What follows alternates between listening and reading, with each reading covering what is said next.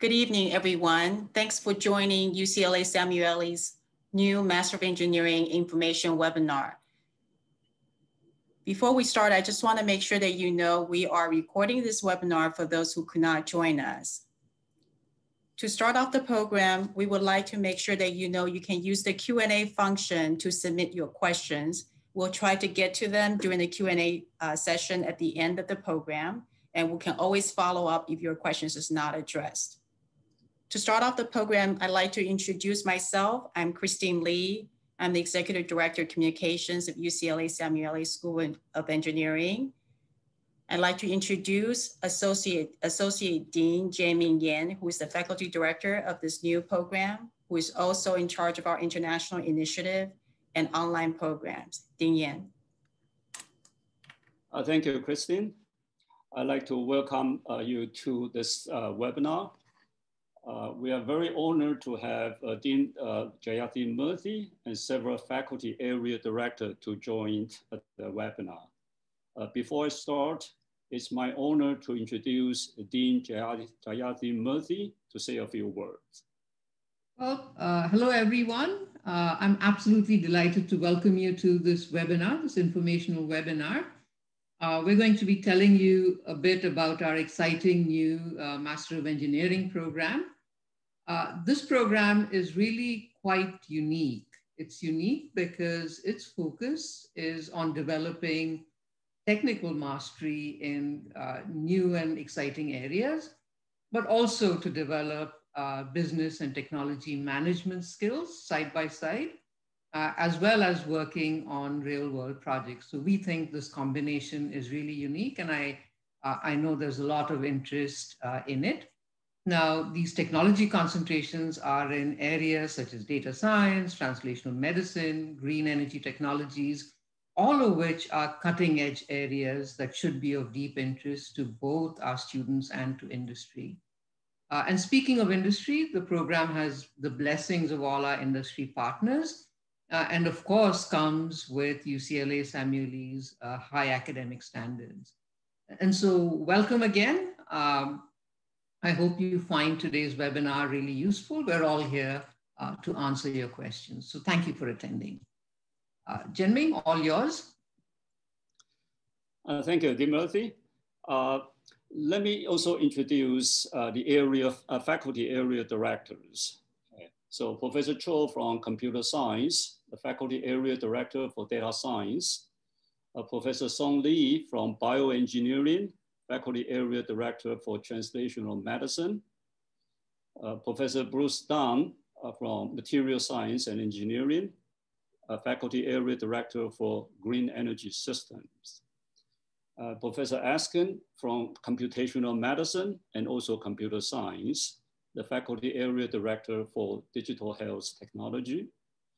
Uh, professor Guy van den Broeck, uh, professor from the computer science, who is also the faculty area director for artificial intelligence. Uh, professor T.C. Tsao from the mechanical and aerospace engineering, uh, who is the faculty area director for autonomous system. Uh, unfortunately, he has to teach today from four to six, but I will speak on his behalf. Okay. So uh, the faculty area director later on will have a brief introduction about their program.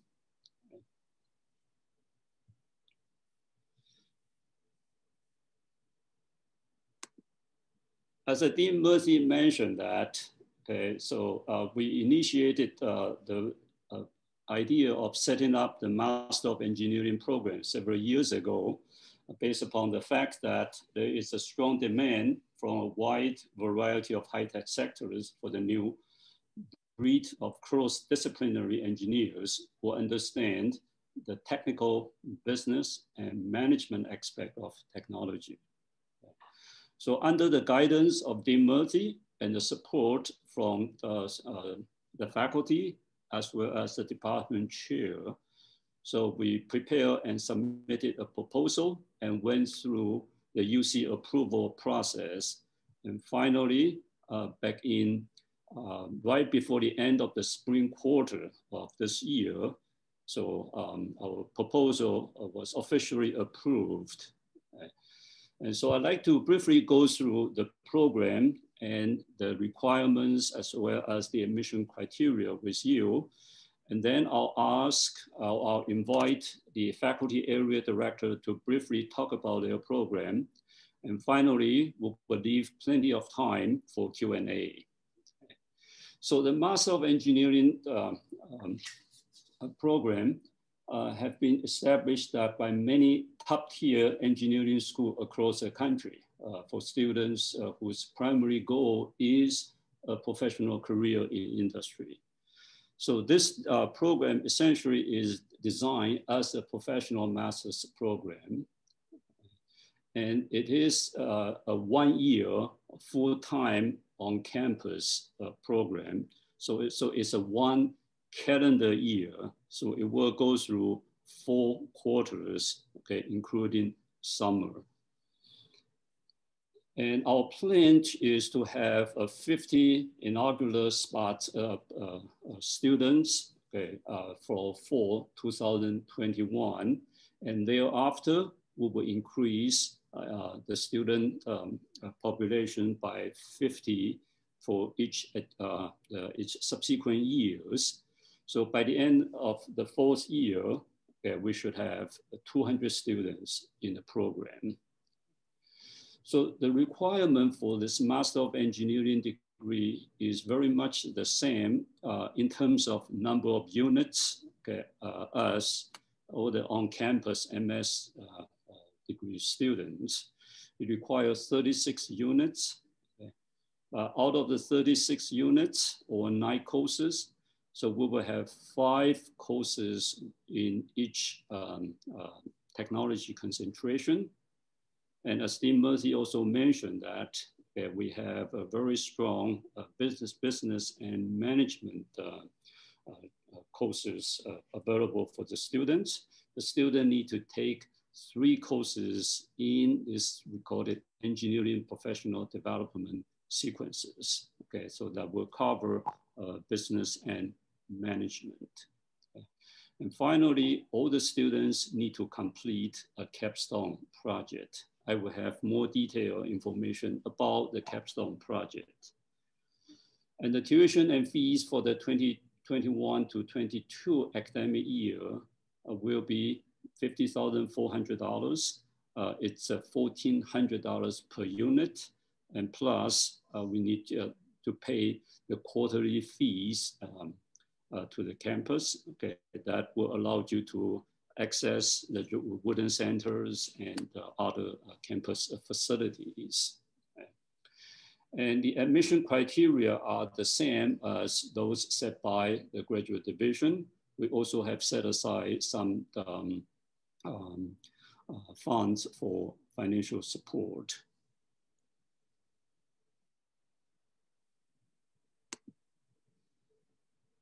So this is just a, a, brief introduction about admission criteria. As we mentioned that this is pretty much the same as those uh, set uh, forth from the graduate division.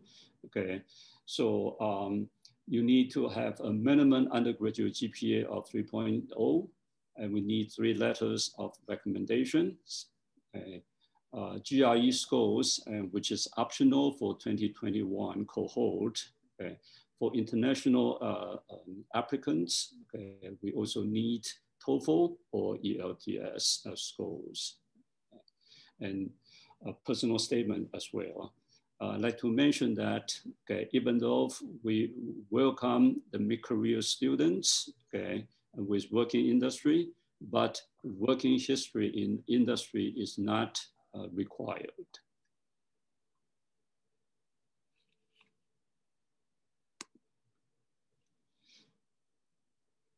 Okay, so uh, as the Dean Murthy just mentioned that, okay, and we have uh, established the six interdisciplinary technology concentration. Okay. So these six areas are autonomous systems, uh, digital health technology, data science, artificial intelligence, uh, green energy systems, and translational medicines. So these areas are really at the forefront of technology innovation. and will have a significant impact on society. And these are also the areas in which the School of Engineering and Applied Science is highly reputed. Again, the uh, faculty area director will come back to uh, briefly introduce their program. And the other unique feature of this program is that the students enrolled in the Master of Engineering program will take courses with other students from several academic uh, departments. So this is essentially a mixed enrollment.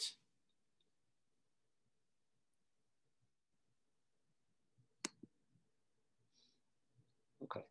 Uh, as I mentioned that uh, uh, every students need to complete five technical courses plus three engineering professional development courses and a capstone project. So here is just a sample curriculum for data science. Okay, so we have a sample curriculum available in each area uh, from our website. Okay. So in the fall quarter, the students will take two technical courses, okay, plus one uh, engineering professional development uh, elective, okay, with a total of 12 units. Okay.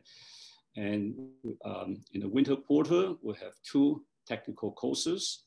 Uh, and the spring quarter, we have one technical course plus one engineering professional development elective.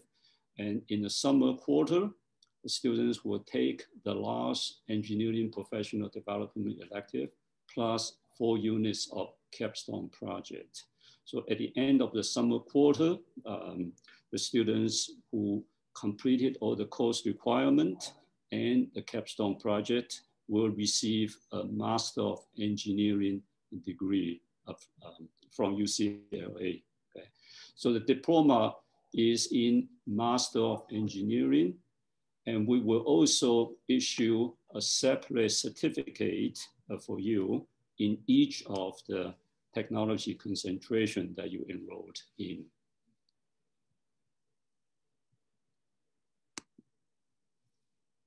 So here are just a, a, a sample courses for the engineering professional development uh, uh, elective. Okay, so currently the school has offered uh, several courses in these areas. Okay, so here are just some examples.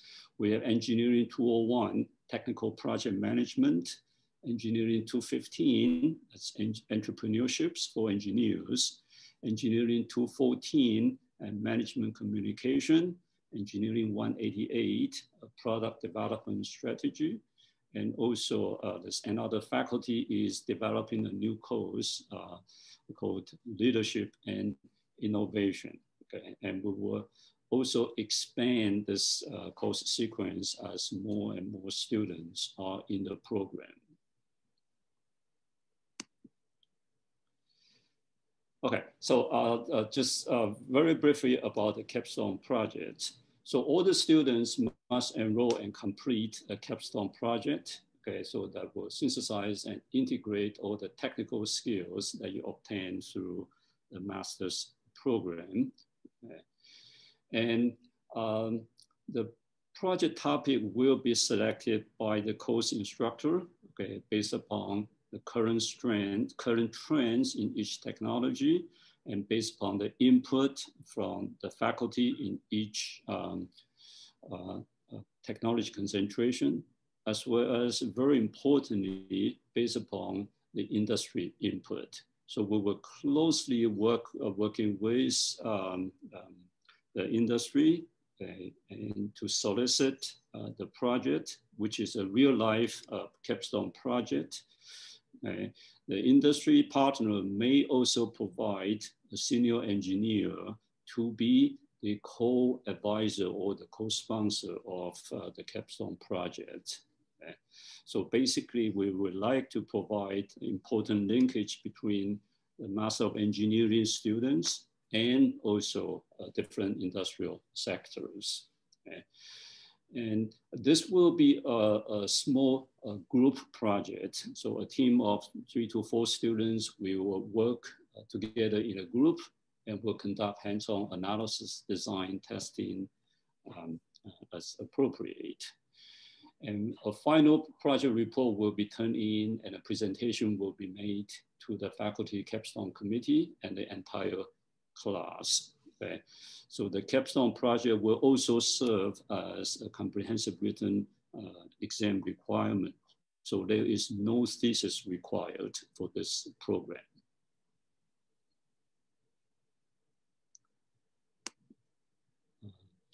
So in terms of student advising, and um, so we have uh, student affairs officers, SAO, and also we have uh, the faculty area director as well as the faculty participating in each technology concentration.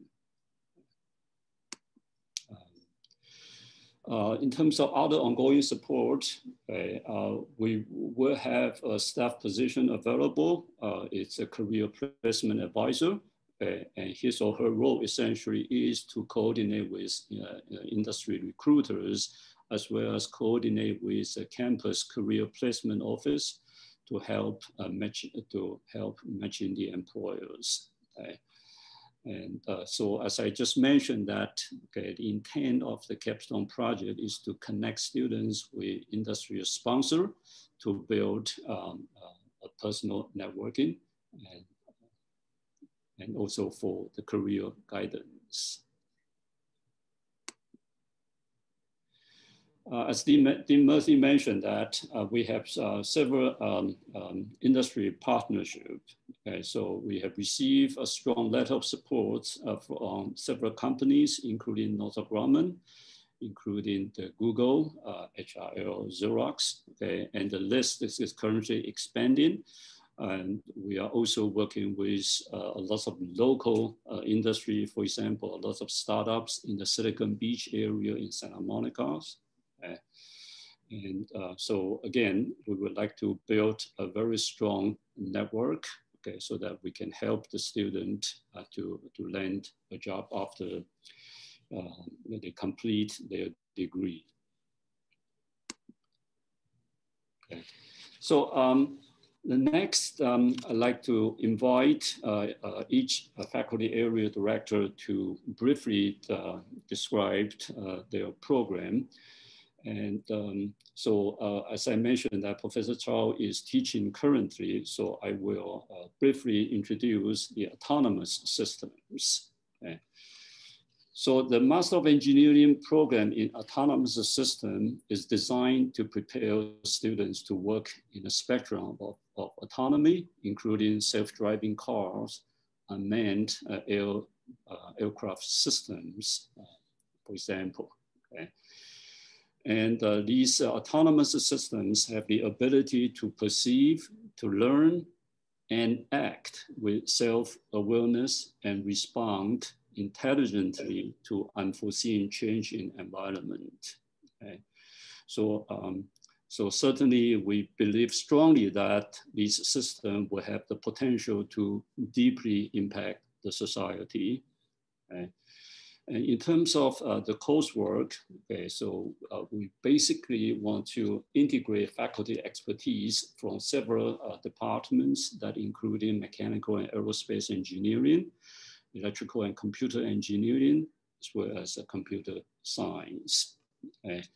So the topic of the, the um, courses that the student can take that include um, the dynamic systems and control, machine learning, uh, optimization, sensor technology, AI, visions, and so on. Next, I'd like to invite uh, Professor Eskin to uh, talk about uh, digital health technology. Hi, thank you for opportunity to discuss this program. So I'm Eliezer Eskin. I'm the chair of a new department called computational medicine, which is a joint venture between the David Geffen School of Medicine and the School of Engineering. And the area that I, that the program that I'm leading is called the digital health technology, which combines data science, mobile health, health informatics technology, wearable health, signal processing, all to analyze biomedical data. And the courses span many different departments. It's a great program. there's a great research going on both in engineering and medicine. This is a great way for individuals in industry to connect to these efforts. Thank you. Next, I'd like to introduce Professor John Cho uh, from computer science uh, about uh, his program in data science. Hello, everyone. Welcome to UCLA uh, seminar.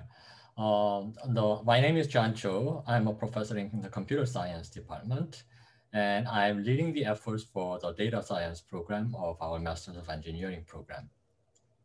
And we all kind of fully appreciate that this is really the era of big data. There is just so much data being generated from everywhere. And we also know that by being, uh, by being able to leverage all the data that is generated, somehow if we can make some sense out of it, there will be a lot of values and knowledge that can be discovered from it. So the goal of our data science program is to equip you with the knowledge, both theoretical and practical knowledge about how can we make sense out of these large amounts of data. And in order to do that job very well, in terms of the practical side, we need to know what are the tools that are available. There are a lot of popular tools that are being used today, like Python, and maybe some deep learning libraries, and uh, maybe some of these or advanced like probabilistic reasoning tools and also distributed computation system like Sparks, etc. So what, uh, on one side of our program, we want to introduce these tools to you so that later, when there is a need for using these tools, you feel comfortable using them, right? So that is on one practical side. And on the other side, more of a theoretical side, is that in order to discover patterns or make sense of the data, available data, we need to know how we can analyze it and what are the mathematical and probabilistic tools that we can use and algorithms that we can use in order to somehow look into the data, explore the data, and make some sense out of it. So for the classes, what we will do is that during the lecture, we will go over this theoretical and algorithmic computational uh, models and theory. And then for the projects, you will be able to use these tools to analyze the real world data. And our curriculum is designed to be covering both of this practical and the theoretical side.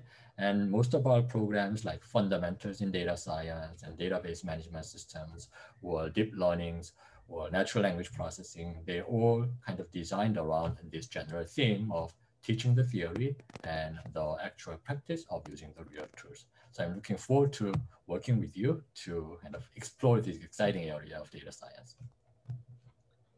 Thank you.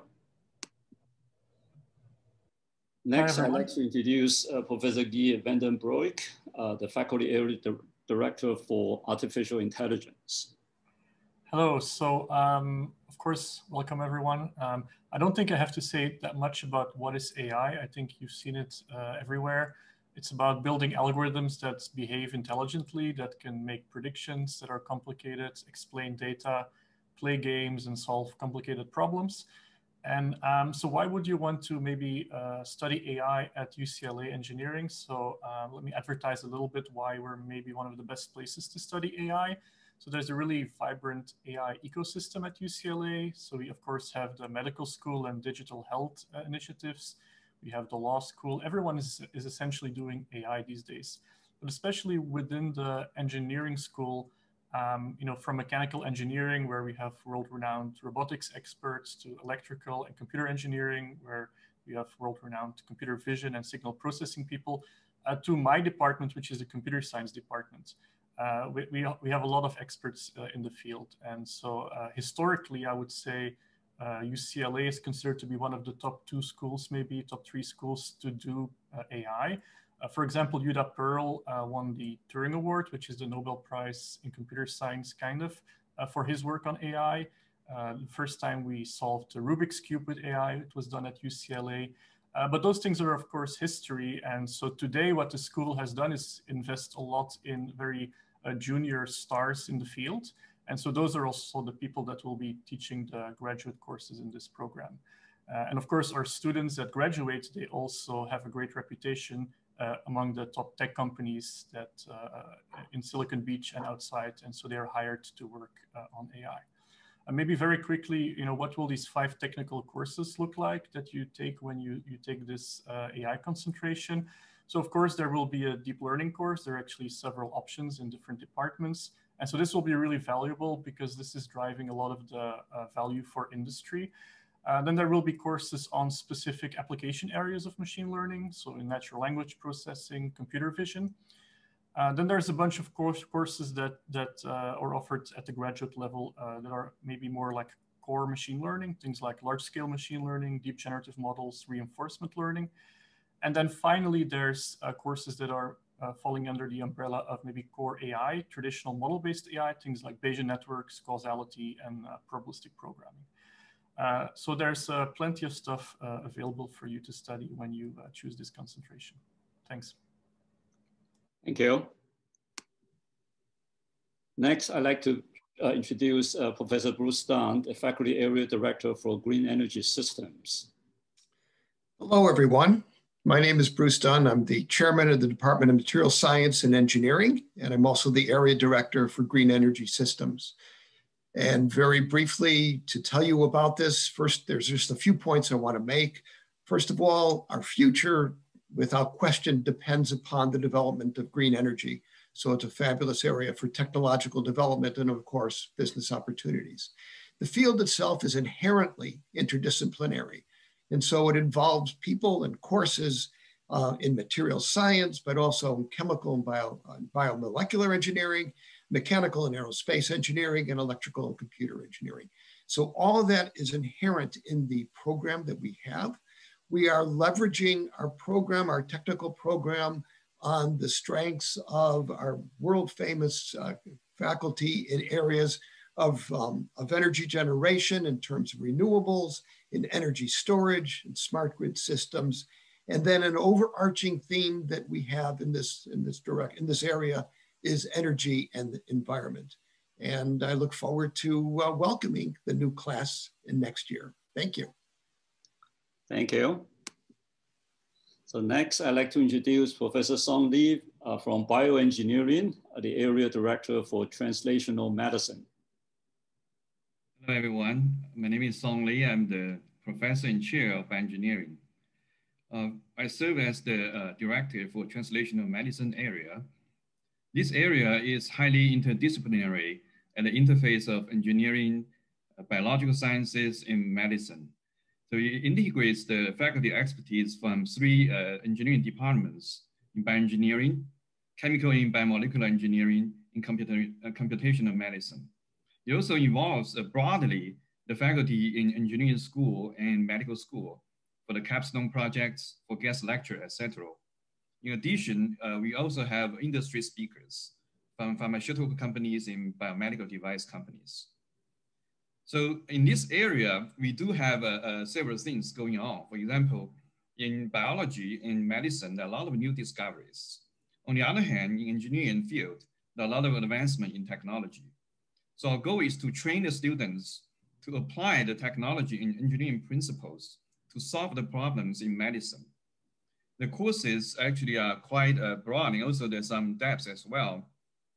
On the website, probably you see about uh, five courses uh, there, but we do have more than that, about uh, 10 courses available as option.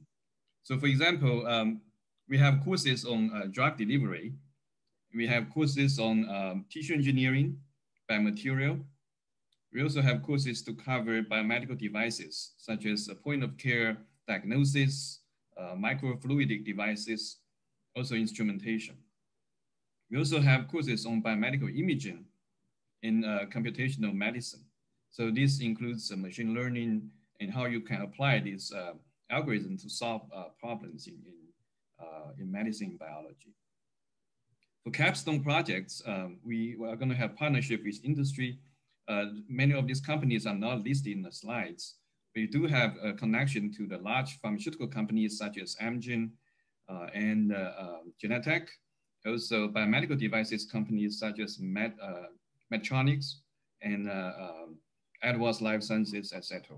We also have connections with many startups. So these capstone projects will be uh, truly problem solving related to R&D, real world problems, I think students will learn a lot. I also want to mention that I used to be at Berkeley. We had some similar program in Master in Engineering, involves both campuses. it's translational medicine, involves UCSF in Berkeley. And at UCLA, we have an advantage, advantage to have both uh, top engineering schools and top medical schools on same campus. It's a perfect place to uh, address this uh, uh area and, and, and, study here. Look forward to your application and hopefully uh, to have opportunity to work with you. Thank you. And um, so for more information, please uh, visit our website. It's meng.ucla.edu, or you can email us at meng.at.ucla.edu.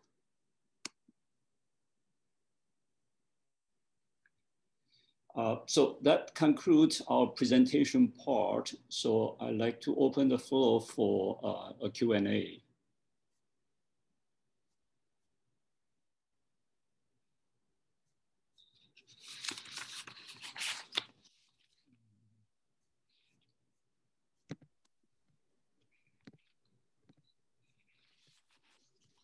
Hi, welcome everyone. Um, my name is Shanna Bonner. Um, our first question is how would you advise students on whether to pursue the current traditional UCLA MS degree or this new Masters of Engineering degree program? It's a very good question. That so certainly is up to individual. Um, so uh, as I mentioned that the Master of Engineering degree is a professional degree uh, it's also a terminal degree program. Uh, so if you are in the traditional MS program, after you finish, if you want, you, you have the option to, to move on to the PhD program. Uh, while in this case, a Master of Engineering degree is a terminal degree program. So uh, um, so uh, which program is more suitable for you? And this is really uh, an individual's choice. Okay, but um, I think both programs are, are outstanding programs for you. Great. So a follow up to that is, uh, will employers view a single year degree with the same weight as a two year degree? Uh, not really. The, the on-campus MS degree uh, can also be complete in one year. So um, again, if you take three courses per quarter, you will be able to finish uh, nine courses in three quarters and complete your on-campus MS degree.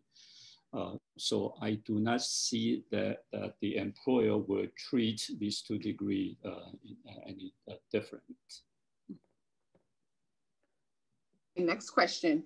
Um, if we're trying to get management education, how does this program compare to an MBA? Well, uh, certainly that um, MBA is uh, um, more extensive education. Uh, as far as I know, at the UCLA MBA program, it requires uh, 80 units uh, uh, to complete. And if you're a full-time student, it takes a full two year, or if you're a part-time student, like the fully employed MBA program, it takes about three years to complete, okay? So we basically want to give you a foundation to move into the, the technology management and also understand not just the technical aspect of the technology, okay, but also you learn how to manage a project, learn how to communicate, and learn how to work in a team. So essentially, uh, this will give you all the foundations that you need to be successful. Can you uh, clarify how much technical coursework is covered in this program? Uh, out of the 36 units required for degree completion, you need to take uh, 20 units of technical courses uh, or five courses in each the techni technology concentration. And as a follow-up to that, is it possible to complete the program while being employed full-time or concurrently with part-time work? Um, as it is now, the program is designed to be a one-year full-time on-campus program. Okay. Just to confirm, can international students apply to the program? And if so, does it come, uh, is it um, a STEM program? And will it be valid for OPT visa? Uh, yes, uh, international students are welcome to apply uh, to the program. And um, so uh, by the time when you finish the program, uh, you have stayed at UCLA campus for uh, a minimum of three quarters already. So you meet the criterion for the OPT. And the answer is yes, you are eligible for OPT. Um, will any admissions preference be given to current UCLA engineering students who will graduate in 2021? Yes, uh, the, the program is open to, to everyone. So a background in mechanical engineering will be a good fit for the program? Uh, background in chemical engineering, yes, of course. Um, like uh, Professor Dunn has mentioned that um, uh, um, in the green energy system and as well as in Professor Li's um, uh, tra translational medicine. Okay? So uh, we will uh, have courses in that from chemical and biomolecular engineering. And also it's an interdisciplinary program. So the students from mechanical, from electrical engineering or from chemical engineering uh, they can apply to different program. Of course, uh, you need you uh, need to take courses outside from your traditional chemical engineering program to broaden the, your engineering uh, skill as well as the engineering uh, uh, knowledge. Um, given um, the circumstances around COVID, undergraduate um, engineering classes this past year at UCLA have been more theoretical without any hands-on learning. How would you describe this master's program? Is it more theoretical or more hands-on? What if COVID still requires online next fall? How will students receive practical application in this program? That's a very good question. Okay, so we, um, and so it really depends upon a lot of factors related to COVID, okay, and uh, the campus policy, and also uh, any restriction from the LA Department of Public Health. Okay, so assuming that uh, COVID, um, the availability of vaccine, and the students are all back to campus, and so, so we will be able to welcome the first cohort of students to campus on uh, by fourth quarter 2021. Yes, uh, this program is designed to be very hands-on. Uh, so in addition to uh, the five uh, uh, technical courses plus the three um, professional engineering professional development courses, all the students need to complete a capstone uh, project. So the capstone project, as I mentioned earlier, that is designed to be a hand, hands-on experience and working on a project uh, which may be sponsored by uh, uh, the industry. And also the industry may also have uh, their um, um, senior engineers to serve as the co-advisor for the, the capstone project in each technology concentration. Um, you uh, mentioned that work experience. Oh, oh, excuse me, oh, sorry. No problem. Uh, uh, I'd like to invite all the area director to chip in anytime. Okay. Uh, okay. Go ahead. Um, you mentioned that work experience is not required. Um, however, will preference be given to older students or is this really designed for students coming straight out of a undergraduate program? Uh, both. Okay, so um, students in each cat in either they, they just uh, about to finish their undergraduate degree or they have been uh, working for a few years, okay? And so they are all welcome to apply to the program. But I just want to mention that this will be a, a full-time on-campus program. Okay? It's not a part-time program at this moment. Is the Masters of Engineering program eligible for the ESAP program? Um, so, I mean, the, the, the ESAP program is for the top students, top undergraduate students in the school. Okay? So um, if those students apply, they would definitely be considered very favorably. And um, um, so I will have a separate meeting with uh, Dean um, uh, Rick Wesel about the ESAP program, whether these students will be admitted automatically into the Master of Engineering program or not. And I will have an answer um, uh, early next week. For the first year, I understand there will be 50 students um, admitted. Does this mean the first year or for each area of study? Uh, so um, we will have a total of 50 students for year one, okay? And then 100 students for year two, 150 for year three, and 200 uh, at year four. Okay, so um, at, at our capacity, we will have 200 students in the program after four years. Will there be an opportunity to lower the cost of tuition through a TA ship I know for the MS degrees, you can get some of the costs covered of your tuition if you TA in the department. Uh, yes, if you're eligible to be a TA, um, that certainly uh, is a possibility, yes. And we also have set aside some funds available for uh, financial aid.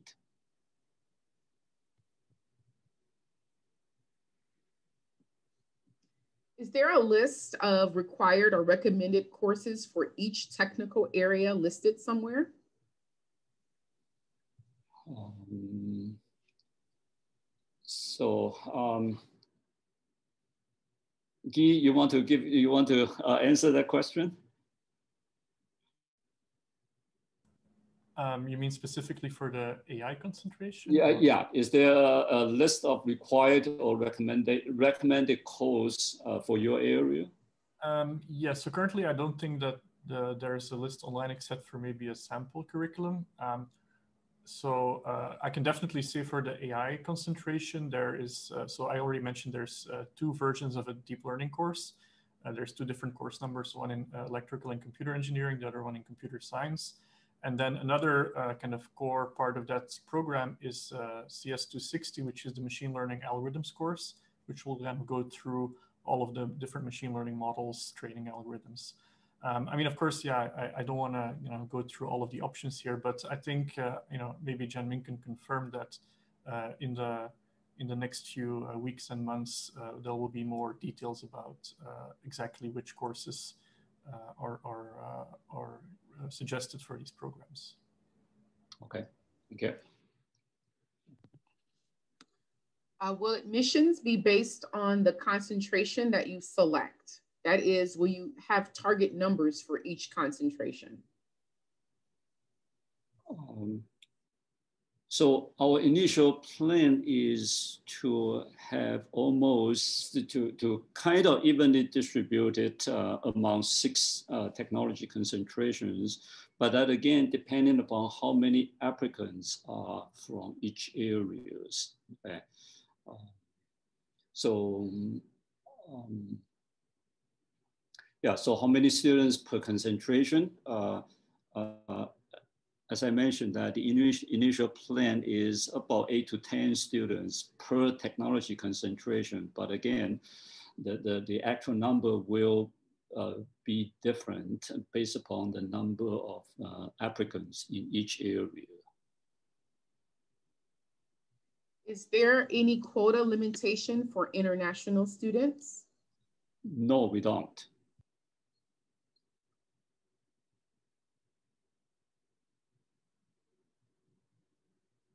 John, there is a question for you. Are there any prerequisite courses for data science? Uh, in terms of the preparation for the data science concentration, I think one way to think about it is that as long as you are a good engineering student, I think you're pretty much ready in the sense that uh, in order to be able to follow our curriculum, uh, you need to have the basic mathematics background, like we need to know the probability, basic probability, some statistics, and a little bit of like calculus and linear algebra. Like these basic classes that you teach, that you learn as an engineering student or maybe even science student, right? And I think even science students are fine as long as they have a reasonable experience regarding the basics of the program. We don't expect that you have like five years of software engineering kind of a experience, but we do expect that you have used some software, uh, some programming language to implement something. Those are kind of the basics that we assume. And then as long as you have that much of a background, uh, we kind of set our curriculum so that even if it has, maybe it has been a while since you kind of learned these things, uh, the first two courses are more of like slightly undergraduate level kind of thing so that you can kind of brush up your skills and then you can gradually migrate into more advanced stuff later. So the answer is that as long as you're a reasonable science or engineering student, we expect that you will be able to follow our curriculum. So there's also a question about uh, how to prepare for the autonomous systems program. Um, so um, um, as I mentioned that from the, um, the curriculum prepared by Professor Tsao, um, uh, that has courses from mechanical aerospace engineering, computer science, and ECE. Okay? And the students can select courses in, for example, vehicle systems and control, and machine learning, okay? and AI, okay? and also a lot of simulation and modeling, uh, electric vehicles and so on. So basically it's suitable for students with different background. You can have a background in mechanical mechanical engineering. Uh, students can also have a background in computer science or a background in electrical engineering. So we have a series of courses for you um, uh, uh available for students from different backgrounds, uh, different pathways as well. Uh, so is the curriculum published in terms of course numbers? Uh, yes, we will have um, a sample courses in each technology concentration with course numbers. Okay. Uh, for example, we have MAE 273A listed in autonomous systems. Okay, MAE 273A is robust control system analysis and design. Okay. And they also have listed ECE C247, which is a neural network and deep learning as one of the codes. Okay. And another example is um, uh, MAE 263A, which is kinematic of robotic systems. Okay, so we will include all these course numbers uh, uh, in our website. Just to confirm right now, the course lists are not available, right? But we will make it available pretty soon. Is it so, Jenny? Yeah, so we will add that to the website. Thank you. And there was also a question about uh, when our application due and when our admission decision made. Okay. So as it is now, um, the, the deadline for application is uh, December 1, which is the same as for all the on-campus program. Uh, however, we recognize that, okay, we just publicize this program. And um, so um, we have um, the flexibility to extend the application deadline until end of February. Okay? And in terms of the, the, the decision, uh, as long as your application package is complete, and we will start our review and evaluation evaluation process. So we will uh, let you know about the decision as soon as we complete the evaluation. So I would say that the earlier you submit your application, okay, the earlier you will hear from us regarding the uh, decision.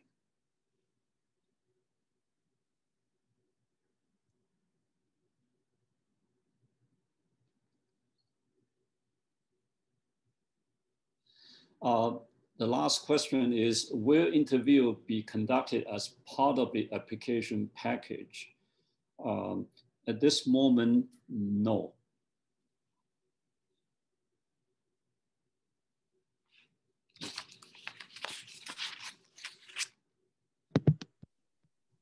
So there's okay. another question. Um, if an admitted international student cannot get a visa to come to the US, will it be possible to defer his or her um, enrollment for the following year? Uh, yes, of course.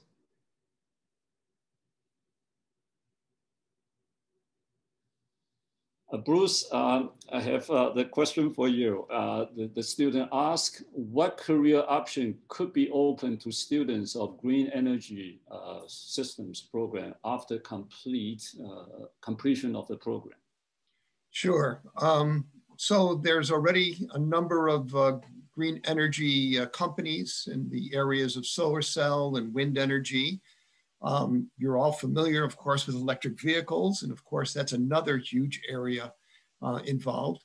There's also a lot of work related to the, uh, the utilities. The utilities need people for smart grid, and smart grid, of course, is very much in, uh, in uh, essential importance in green energy.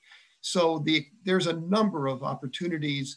They run the gamut from things that are really very technological to those which are much more business oriented. Thank you.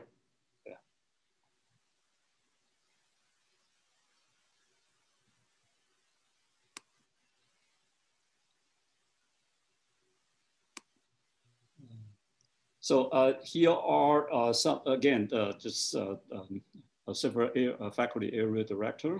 Okay, so uh, if you have any additional questions, uh, please feel free to email us.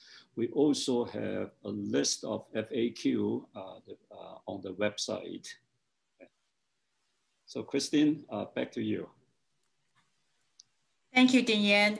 At this point, I think we answered most of your questions. Uh, we are going to continue to answer questions uh, through our email, and you can always check out the latest FAQ on our website. Um, so with that, I'd like to thank you, thank you all for joining us. We have another webinar on November, November 9th at the same time. Just in case for some reason that you wish to join us again, you can always RSVP with that, thank you all for joining and have a good rest of the evening or the good rest of the day, depending on where you're joining us from. Thank you all.